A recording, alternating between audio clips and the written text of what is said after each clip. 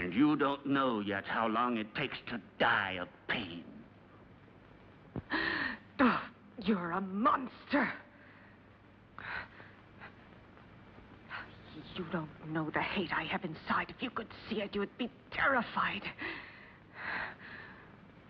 You would kill me at once. But even by killing me, you can't free yourself from my hatred, Stephen Arrowsmith. You can kill my body, but I'll never leave you in peace. Never, never. I'm not afraid of the dead. Corpses are destined to rot and fertilize the earth. I can still hurt you while I'm alive, Stephen. You thought you would inherit everything if I died, didn't you? My castle, all my wealth, so that you could continue your dirty experiments. But you've made a tremendous mistake, you know, Stephen. Do you understand that? Because I made a new